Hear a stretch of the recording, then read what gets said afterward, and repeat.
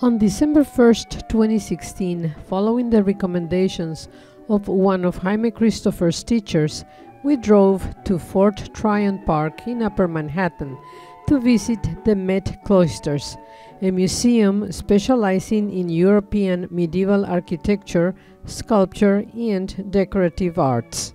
Its early collection was built by the American sculptor, art dealer, and collector George Grey Barnard and acquired by John D. Rockefeller Jr. in 1925. These photographs depict the first Cloisters Museum erected by George Grey Barnard in 1914 at 699 Fort Washington Avenue and acquired by the Metropolitan Museum of Art in 1925.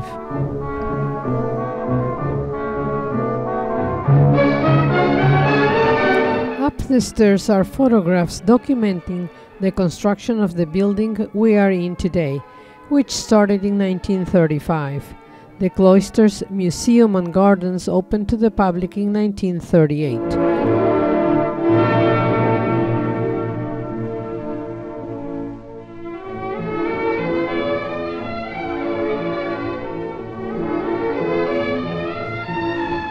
Much of the original collection assembled by George Grey Barnard is now in view in the galleries upstairs. The Romanesque hall displays several doorways from different monasteries of medieval France and frescoes, all from the 11th and 12th centuries.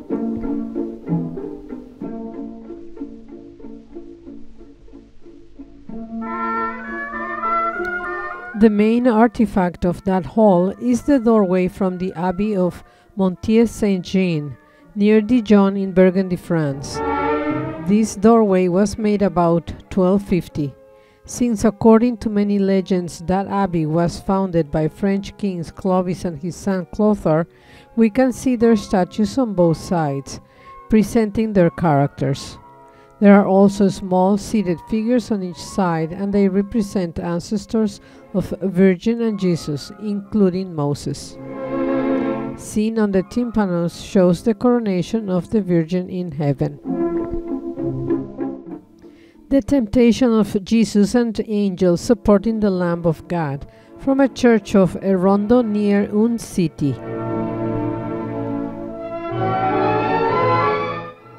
Lion, fresco transferred to canvas from a room above the chapter house of the Benedictine monastery of San Pedro de Arlanza near Burgos.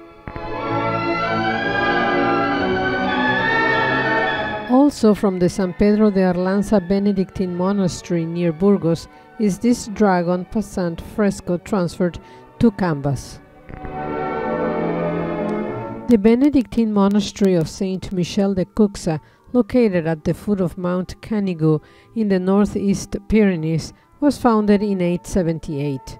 In 1791, Cuxa's monks departed in the wake of the French Revolution, and much of the monastery's stonework was subsequently dispersed.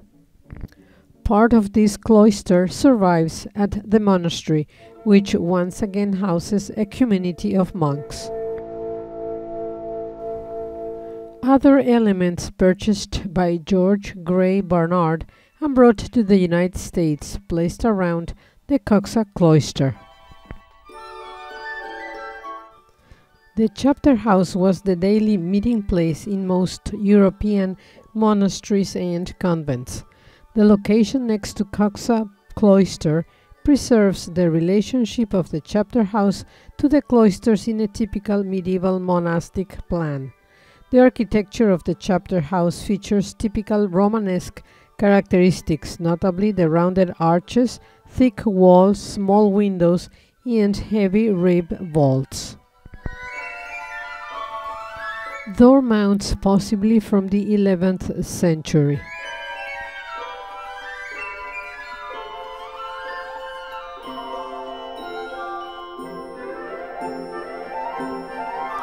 The apse from the Church of San Martin at Fuentidueña in Spain dominates this gallery space.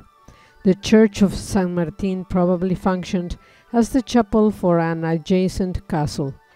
The plan, a long nave without projecting transepts or side aisles, is common for small Romanesque churches in Segovia. Also typical of the Romanesque period is the sober, thick wall construction, interrupted only by small windows, and the rounded arches. An unusual feature of these apse is the large scale of the figures on piers. Saint Martin, patron of this church, is seen on the left, and the angel Gabriel's annunciation to Virgin is depicted on the right. The crucifix is believed to be of Spanish origin, possibly from the 11th century. In this fresco, the Magi approach the Virgin and Child, not in a manger but enthroned in majesty and in company of archangels. Lion relief tramples a dragon.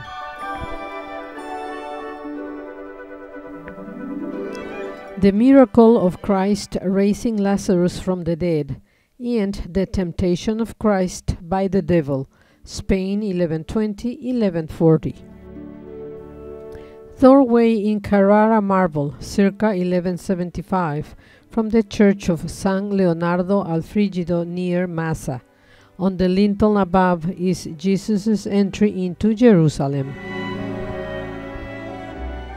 The monastery of Saint Guillaume le Desert, from which this cloister comes, was founded in 804. Saint Guillaume thrived as a pilgrim's destination on the road to the shrine of Saint James, Santiago de Compostela, in northern Spain. Elements from the choir of the Church of Notre Dame du Bourg near Bordeaux form the right wall and part of the left of the cloister's Langon chapel. Imposing and spare, this architectural stonework evokes a monastic ambience, the austere sobriety of which is mitigated here in typical medieval fashion by animated, sometimes even playful, figural sculpture and richly colored stainless glass from other regions of France. As in all medieval churches, the altar is the focal point of worship. This sculpture represents the throne of wisdom, in which Mary serves as a throne for Christ, who in turn embodies divine wisdom. This is one of only a few Romanesque sculptures in wood from Burgundy to survive.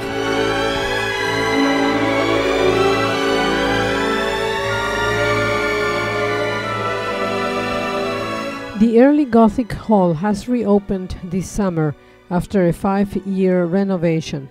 Completely refurbished 13th century limestone windows and two dozen panels of newly conserved and reinstalled stained glass, primarily from the 13th and 14th centuries, are among the objects on view. The Gothic chapel contains four tombs from the Urgell family of Catalonia and three tombs from the Bellpuig de las Avellanes monastery in northern Spain.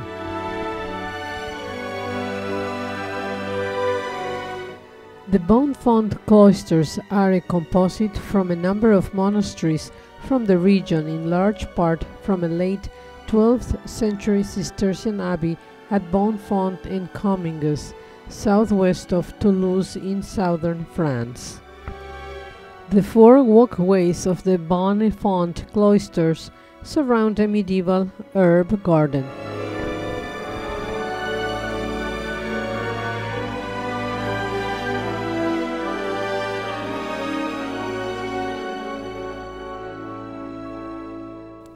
The Trie cloister was originally part of a convent of Carmelite nuns in southwestern France. The original abbey, except for the church, was destroyed by Huguenots in 1571. The Trie cloisters surround a rectangular garden which hosts around 80 species of plants and contains a tall limestone waterfall at the center. The waterfall is a composite of two late 15th to early 16th century French structures.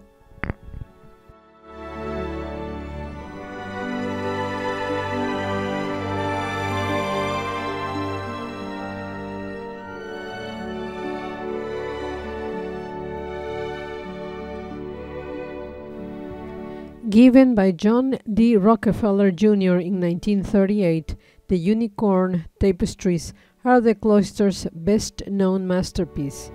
Their history, however, is incomplete and their meaning much debated. The hunt of the unicorn, a mythical one horned beast, resembles a stag hunt, with men and dogs in pursuit, an attempted escape across the stream, an agonizing climatic fight and the hunter's victorious return to the castle. Additional scenes are unique to the lore of the unicorn his stop at a stream to purify water, his fatal entrapment by a maiden, and his captivity. The Boppard Gallery takes its name from the six large stained glass windows that come from the Carmelite Church of Boppard on the Rhine near Koblenz that date from 1440 46.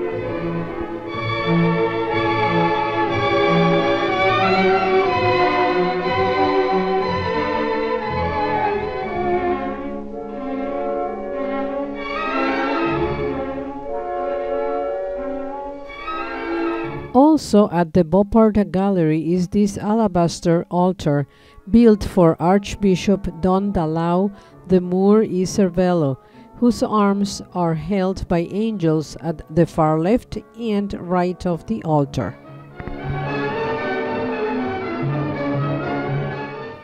The workability of the alabaster allowed the sculptor to create scenes full of charming detail, notably to the left and right of the central, rather static scene of the descent of the Holy Spirit at Pentecost. At the far left is Saint Martin on horseback, sharing his cloak with a beggar, followed by angels watching at the saint's bedside as Christ appears to him in a dream. The two right panels present Saint Thecla listening to the preaching of Saint Paul and being miraculously saved from fire.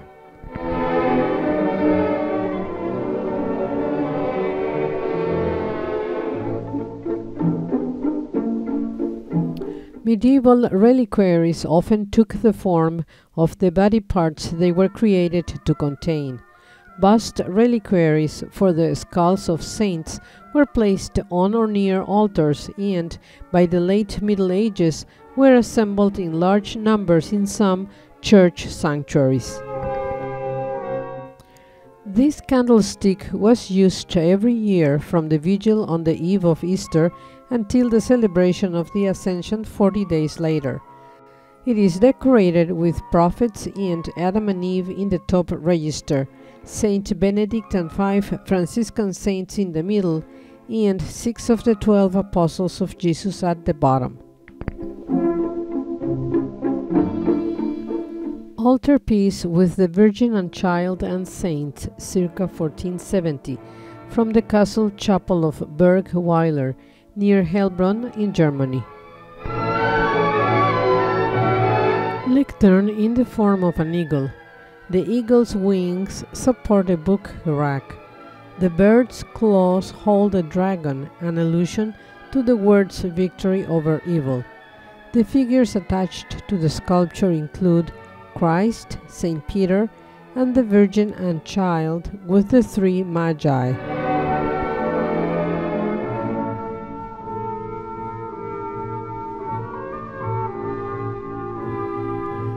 These ewers long have been thought to be the pair mentioned in the 1526 and 1585 inventories of the Order of the Teutonic Knights. The enameled and painted wild men are heraldic supporters, but also can be understood as symbols of virility and procreation. This appears to be the only intact devotional triptych to survive that is decorated with mother of pearl plaques in open work relief. The Merode room, adorned by beautiful stained glass windows, houses the traditionally known Merode altarpiece.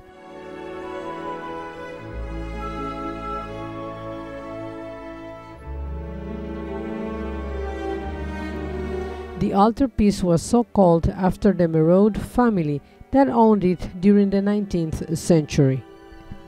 The Annunciation triptych is probably the finest early Netherlandish work in New York and in North America, and it has become Campin's best known work, helped by the undoubted charm of the domestic setting.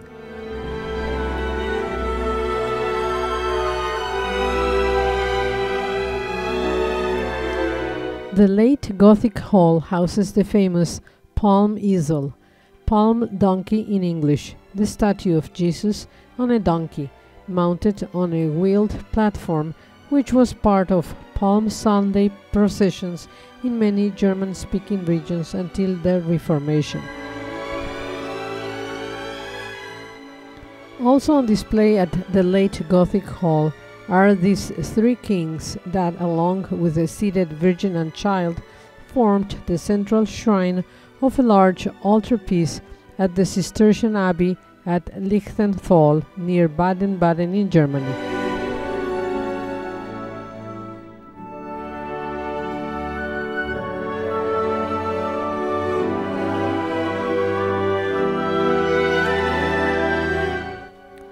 At the end of our tour, we drove to the nearby New Leaf restaurant for a bite to eat.